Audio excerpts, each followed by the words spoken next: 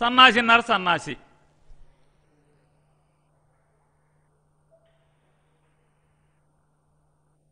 పాపం ఎవరో అంట ఆయన. బంతి చామంతి సోదర. ఎరా నా కొడక ఏం సోదర్రా? నీకు నాకు చుట్టరకం ఏంట్రా అని మాట్లాడుతున్నాడు. ఈ దత్తపుత్రుడు సన్నాసిన్నారు సన్నాసి నిన్ను సోదరా అంటేనే. రే దత్తపుత్రుడు సన్నాసిన్నారు సన్నాసి. నిన్ను సోదరా అంటేనే అంత కడుపు రగిలితే చుట్టరికం లేకుండా సోదరా అంటేనే అంత కడుపు రగిలితే. వైఎస్ఆర్ కాంగ్రెస్ పార్టీలోని కాపు ఎమ్మెల్యేలందరినీ నా కొడకల్లారా అంటే ఏంట్రా మీ నీ బలుపు ఏంటి? మరి మేమెంత ఫీల్ అయిపోవాలి? మాకెంత ఫ్రస్ట్రేషన్ రావాలి? మాకెంత ఫ్రస్ట్రేషన్ రావాలి? సోదరా అంటేనే ఏరా ఓరే అని నా కొడకల్లారా అంటే ఆయన చెప్తాడు పాపం. సిగ్గు శరం వదిలేసి. కొంపల్లె సుందరం ఈ పుస్తకం. పూలే ఈ పుస్తకం. మొత్తం ఈ బూతులన్నీ దాంట్లో చదివావా? రామ్ మనోహర్ లేహయ్య గారి క్యాస్టిజం ఏదో పుస్తకం చెప్పావు. చలంగారు అంట చలంగారు పంతొమ్మిది వందల డెబ్బై తొమ్మిదిలో చచ్చిపోయాడు. మరి ఈ చలం ఎవరో మరి నాకు తెలియదు రామ్ మనోహర్ లేవసియా గారు రాసిన కులాల ప్రస్తావన మీద పుస్తకం రాస్తే చలంగారు ఈయన చదువుకున్నానా బాగా చదువుకుని ఇందులో బాగా బూతులు ఉన్నాయి ఆ బూతులన్నీ కూడా రేపు ఎప్పుడన్నా తాడేపల్లిలో ఏ రేటుకు కొన్నామో ఆఫీస్ మనకు తెలుసు కదా. ఆ రేట్ ఏంటి చెప్పండి ఒకసారి. దాన్ని ఏమంటారు?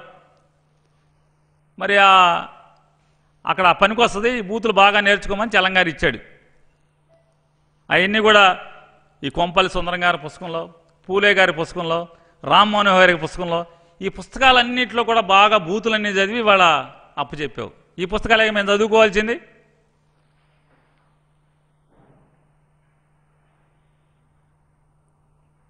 సొంట అన్నారు సొంట. ఇదే కదా ఈ పుస్తకాలే కదా ఈ పుస్తకాలన్నీ చూపించావు కదా. ఈ పుస్తకాలలోంచే కదా ఈ బూతులన్నీ చదవాల్సింది మేము.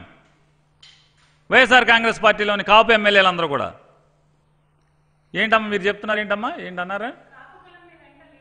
కాపు కులం మా వెంట లేదు అంటే వైఎస్ఆర్ కాంగ్రెస్ పార్టీ వెంటలేదా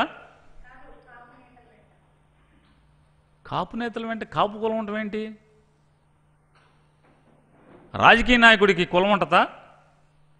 ప్రజలు ఉంటారా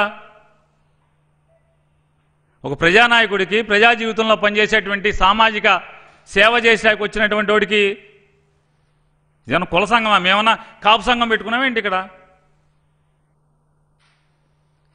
ఈ దుగ్ధ బాధ అంతా కూడా ఈ సన్నాసి నర సన్నాసి బాధ దుగ్ధ అంతా ఏంటంటే జగన్మోహన్ రెడ్డి గారి ప్రభుత్వంలో కాపులకి అత్యంత ప్రాధాన్యత ఇస్తున్నారు.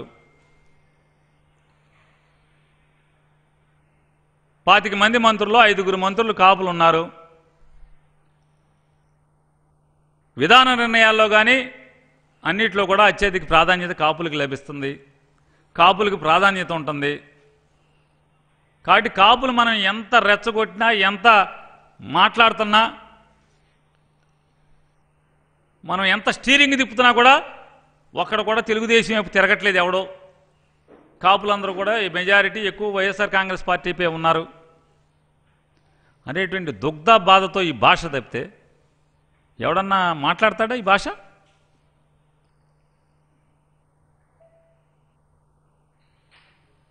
కాపులు అత్యధిక శాతం జగన్మోహన్ రెడ్డి గారు వెనకాల ఉన్నారు. వైఎస్ఆర్ కాంగ్రెస్ పార్టీని వెనకాల ఉన్నారు. వైఎస్ఆర్ కాంగ్రెస్ పార్టీని అత్యధిక కాపులు అభిమానిస్తున్నారు. రెండు వేల పంతొమ్మిదిలో ఎన్నికలు అండగా ఉన్నారు.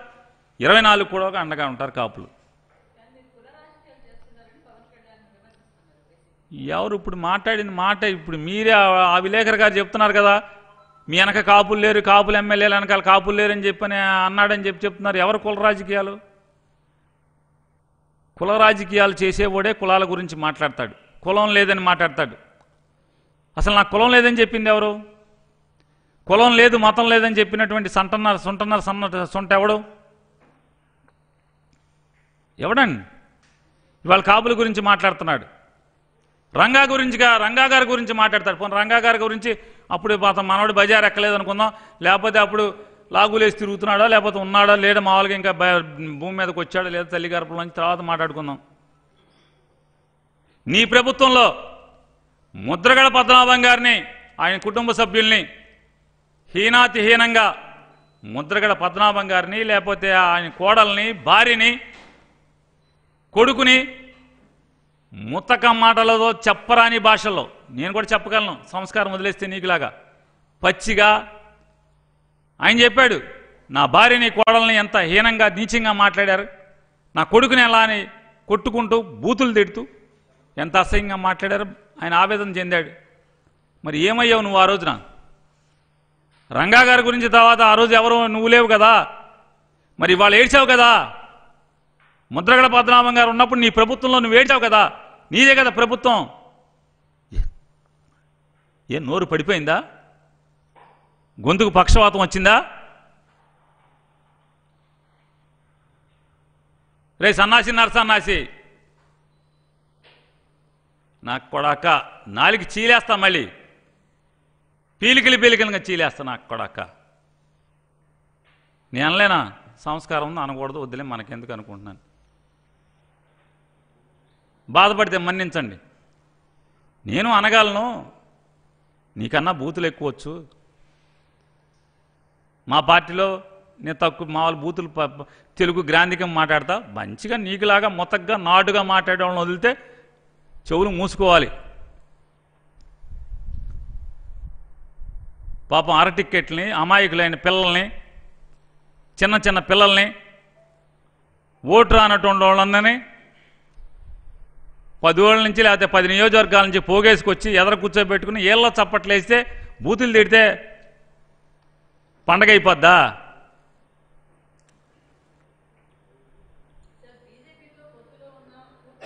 ఈ రాష్ట్ర ముఖ్యమంత్రిని ఈ రాష్ట్ర ప్రథమ పౌరుణ్ణి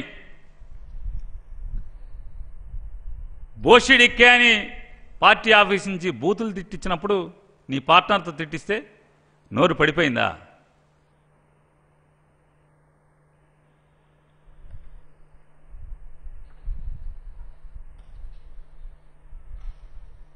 ఎవరు అసలు నీ పెళ్ళిళ్ళ గురించి ఎవరికేం అవసరం?